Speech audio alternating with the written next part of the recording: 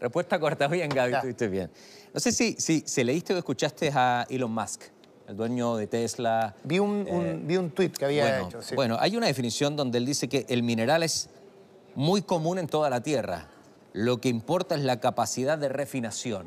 Sí. Tú eres un tipo que trabaja con autos eléctricos, donde el litio es fundamental. Sí. Es una mirada, ¿van a escuchar a este tipo de empresarios que saben que es dueño de SpaceX, por ejemplo, que tienen mucha experiencia en esto? Yo diría dos cosas. La primera es que esa visión que presenta Elon Musk es parte central de nuestra estrategia. Ajá. Nosotros queremos agregar valor. ¿eh?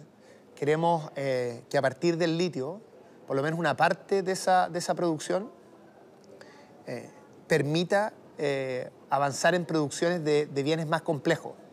Acercarse al todo el proceso, a toda la cadena de batería, que hay muchas cosas intermedias entre lo que nosotros actualmente producimos y las baterías.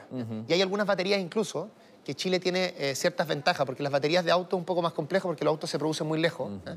Pero nosotros, por ejemplo, necesitamos batería para a- a- almacenar la energía que eh, se produce con el sol en el norte, ¿no es cierto? Entonces ahí la batería se podría eventualmente desarrollar, producir en Chile para ser ocupada en Chile. ¿no? Estaríamos, entonces, hay muchas cosas que se pueden hacer en línea con lo que dice Elon Musk. Ahora, yo diría, con una salvedad, sí. Él ahí está indirectamente minimizando la relevancia de tener litio.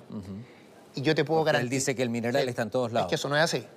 Chile, Chile tiene un 40% de esa reserva y esto es, es público. Si tú ves, por ejemplo, si alguien se, ingresara a ver las audiencias de lobby que nosotros tenemos, que la ministra de Minería tiene, que yo tengo, que todo esto es público, que el ministro Marcel tiene, las reuniones que nosotros hemos tenido en las rondas, cuando fuimos un- el viaje, yo he ido con el presidente a Canadá, a Estados Unidos, fui también en un, en un viaje con Inves Chile, que es la agencia que promueve la inversión extranjera a Europa, el interés del mundo por litio, ¿eh? y en particular por el litio que nosotros tenemos acá, es